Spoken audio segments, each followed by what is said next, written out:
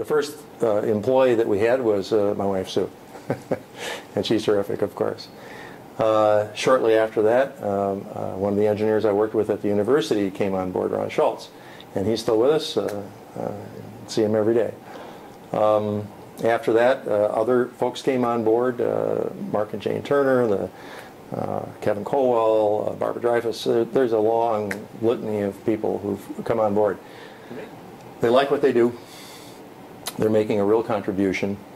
Uh, they found a way where they can both make a living and make a contribution at the same time. And I think that's the magic formula.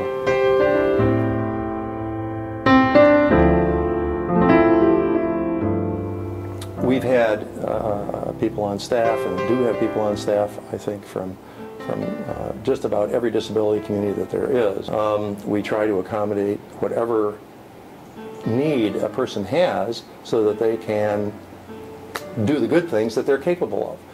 Uh, and I believe that we wind up with absolutely the best, the most loyal, most productive employees that you can imagine just by accommodating a few simple things. You, I think when you realize that there's a need and you have a way to help, and you can, you just do it.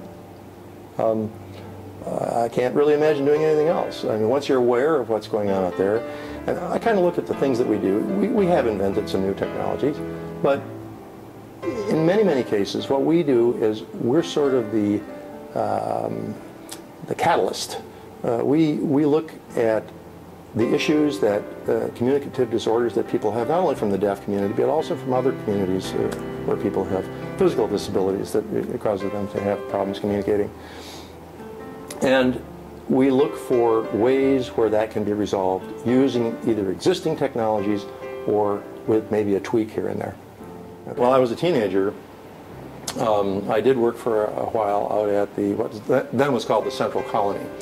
Uh, we had a number of kids that had uh, pretty severe uh, both physical and mental uh, uh, disabilities. And so that was sort of my first touching of the community, if you will. But it wasn't until I got to the university, I actually majored in physics to begin with, and then um, uh, transferred to electrical engineering, both because I was extremely interested in, in the electrical part of engineering. Uh, also, my grandfather, uh, Morton Withey, had been the dean of the engineering school for quite a few years, and uh, he passed away my freshman year, but I know he really wanted me to consider going into engineering, so it wasn't too long after that that I made the change the research I, researchers I was working with uh, at uh, the psychology department came with me to the draft board and and uh, said, you know, this fellow is working on a number of grants that we have, and if he's taken right now, it's going to cost us a lot of time and money to replace him and so on. So the uh, the draft board uh, the next day uh, came back and said, as long as you're working on these projects, I think you should stay in the United States. So, and it was really during that time that I I learned about the deaf telecommunications network. Uh, there were several deaf people who were uh, part of some of the research that was going on. So they immediately began teaching me a lot more and also telling me a lot about their lives and the, the, the issues that they had, one of which was using the telephone.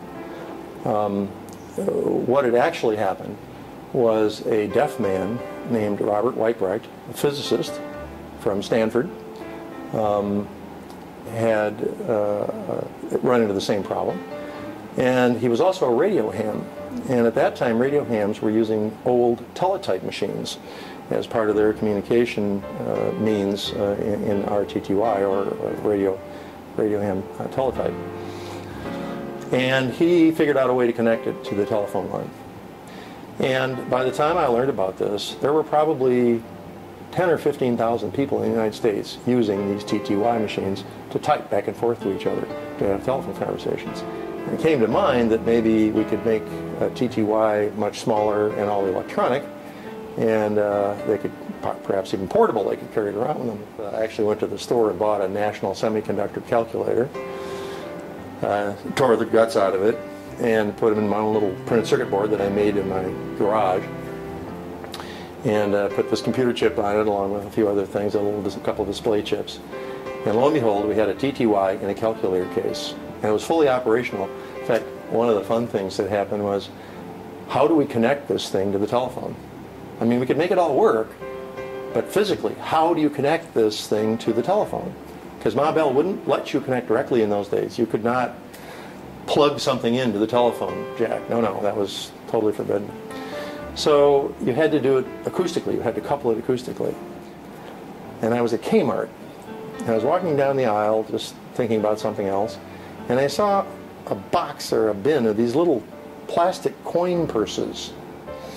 I looked at that for the longest time and I thought, that's about the right size for the round, you know, handset earpiece and mouthpiece. So we stuck a, a, speaker in one and a microphone in the other, and we opened it up a little bit further by snipping a couple places, and uh, a couple small wires, and we plugged them into the calculator. And lo and behold, we had the coupler that actually you could carry around in your pocket. You could hook it onto any telephone, and away you go, typing away on the keyboard and reading the message coming back. We called it the VIP, okay, the Visual Information Processor. But of course, everybody who got one thought it was a very important person, and that helped it. So I took it to a, uh, a convention and I was putting out some brochures and, and a couple of the devices. I turned around and there were like 30 deaf people. They're all signing and pointing and pointing at the thing and getting excited, you know, and they were pointing at me and signing to me. Well, at that point in time, I was not nearly a good enough signer to understand what they were doing because they were in full blown sign language, you know, not spelling it, just boom, you know. And within minutes, it was clear that these people were very excited because now they could have the equivalent in those days of a TTY that was really a cell phone, if you will. It was a portable telephone, and they'd never seen anything like that before. So very quickly after that, um, the orders began to pour in for it. Uh, we were making them in the basement, my wife and I and another engineer that I was working with, who's still in, with the company. Um, and um, that started the whole thing rolling. Uh, we set up our own uh, technology center, which is currently located uh, here in the park. Uh, we employ about 200 people there now. Uh, they make about a half a million devices a year. All of our stuff is made here. Uh, nothing is assembled outside of, of, the U.S. or of Madison. but we also make a number of products for other people, including other disability products, but also commercial products. When all was said and done, I think we had designed over 200 different TTY or what are then what are now known as text phone devices. Okay, all different shapes and sizes and colors, uh, 25 or 30 different countries, 15 different languages. Uh, one of the things that I had uh, had in my mind for a long, long time, in fact, almost since the beginning, was that although the TTYs were sort of interesting, they were clearly archaic technology. And even though we could build them all electronically and we can make them look kind of neat and maybe make them do more things, you still are basically typing to someone else and they're typing back to you.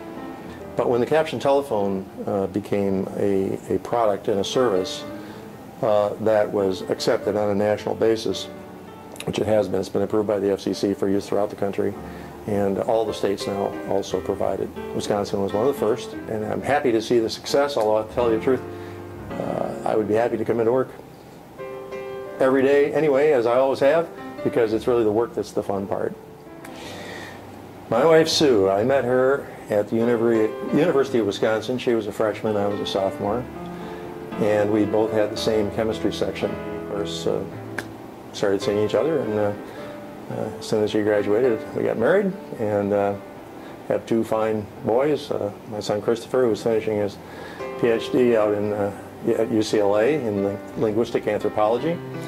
Um, he's actually working now with people with severe communicative disorders. He's using caption telephone technology to caption the speech of the hearing party, and for that matter, to capture the, the whole conversation. And he puts it up on the screen for the person who has the uh, physical disability uh, to choose from. So now they can choose from words that are germane to the conversation at a much higher probability than they would if they're just trying to randomly spell it or take it from a dictionary. So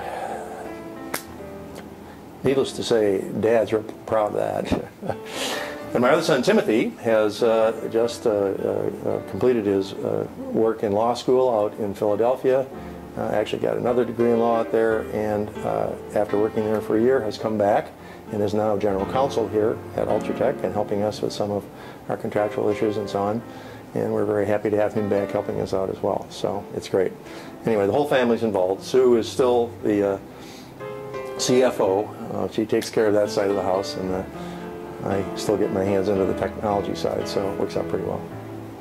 You never expect anything like this to happen to you. You don't, you know, I mean, who would think, you know? Um, but it's great. I mean, it's it's humbling and it's it's um, it's just a terrific honor. And, and I also understand uh, very clearly that uh, these kinds of things happen not because of just one person's work, but because of a lot of really good people's work. It's just amazing that you have, you know, this many talented people for this long of a period of time who stay with you because they believe in what they're doing and what we're all doing. And I just get to be the guy who stands up and says thanks, you know. So, okay. Well, thank you for coming today. It was wonderful having you here, and a pleasure. I hope to see you again.